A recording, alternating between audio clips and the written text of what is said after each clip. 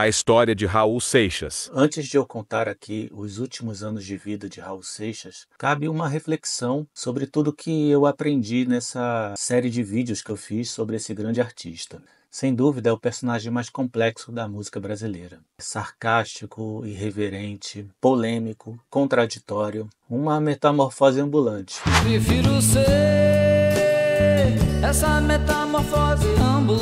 É claro que contar aqui nessa série de vídeos a história de um personagem tão complexo não fecha tudo. Não explica o que rolou antes, durante e depois de Raul Seixas. Por exemplo, o que, que influenciou definitivamente Raul Seixas para ele sair de uma produção de músicas bobinhas no estilo da Jovem Guarda, como Doce Doce Amor, é, Menina de Amaralina, para a produção de músicas muito mais complexas e instigantes como Mosca na Sopa? Eu sou a mosca.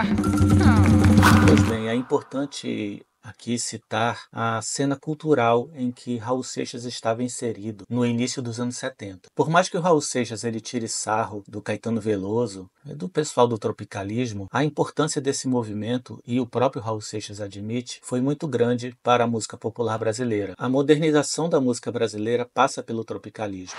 Quando o Pero Vaz caminha, descobriu que as terras brasileiras eram férteis e verdejantes. Bate macumba, oba.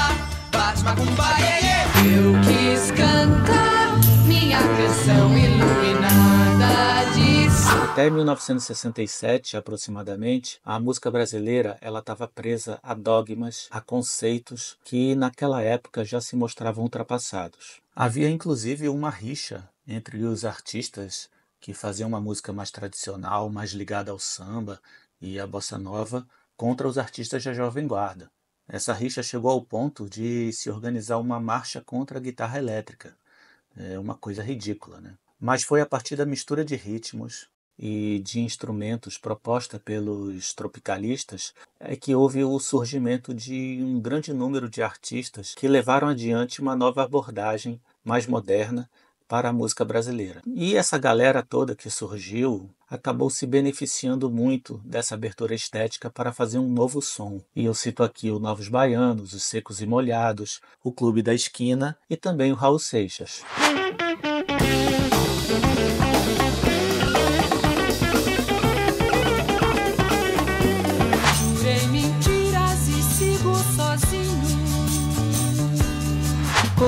Que a gente se esquece de dizer.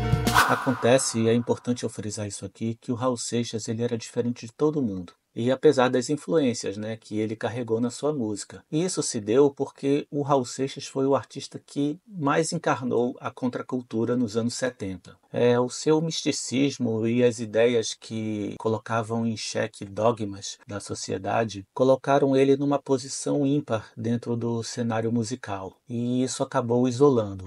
Rock do diabo, Rock of the Devil, para mostrar que o diabo não é tão feio como parece. Me dê um pouco eu a minha que não te cabra como de esperança, diabo.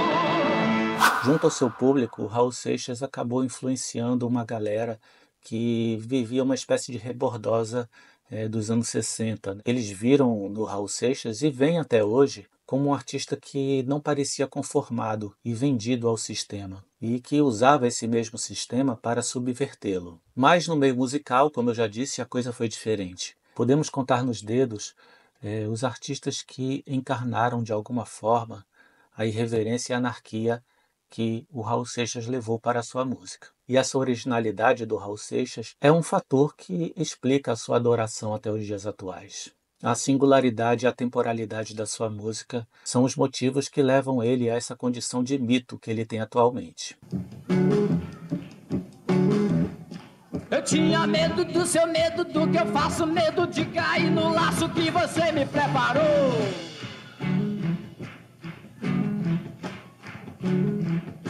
Eu tinha medo de ter que dormir mais cedo numa cama que eu não gosto, só porque você mandou.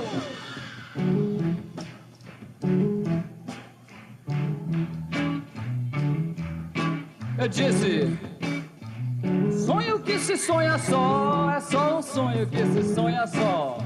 Mas sonho que se sonha junto é realidade. Sonho que se sonha só, é só um sonho que se sonha só. Mas sonho que se sonha junto é realidade.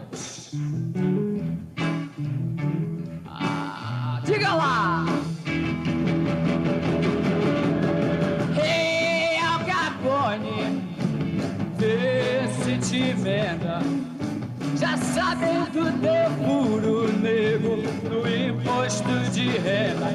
Bom, então é isso. Esse aqui é um vídeo mais reflexivo.